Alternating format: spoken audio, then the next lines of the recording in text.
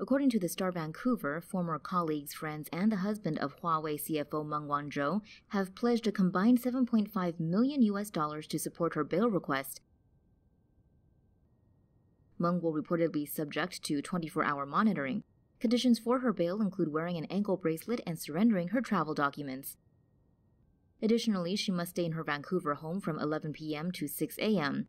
Meng is allowed to travel within Vancouver, the North Shore, and Richmond. She will have to cover all surveillance costs. However, due to concerns of her being a flight risk, Meng is barred from traveling to or around airports in the area.